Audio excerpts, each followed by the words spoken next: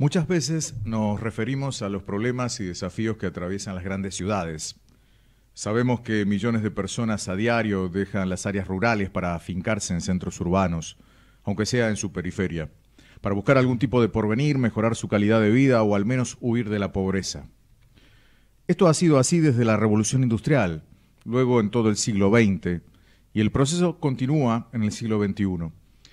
Esto es una cruda realidad. La mayoría de la población mundial reside en ciudades. Ahora bien, ¿cuál es la calidad de vida que ofrecen las grandes urbes?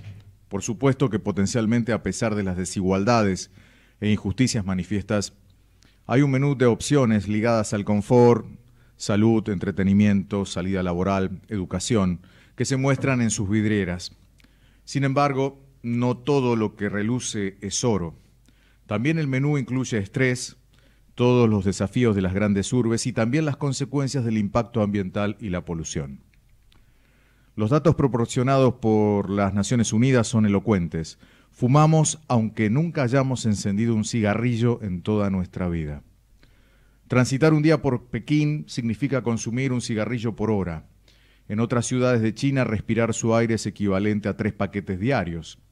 En Nueva Delhi, la India, Caminar por sus calles nos haría fumar más de un paquete por día. En la bella París, la cosa está un poco mejor, pero un día habremos fumado por lo menos seis cigarrillos sin saberlo. En otras grandes ciudades como Nueva York, Tokio, Los Ángeles, San Pablo o Buenos Aires, el escenario no es mucho mejor. Según el World Economic Forum, cada año en nuestro planeta la contaminación del aire mata más personas que el SIDA, la malaria, la diabetes o la tuberculosis.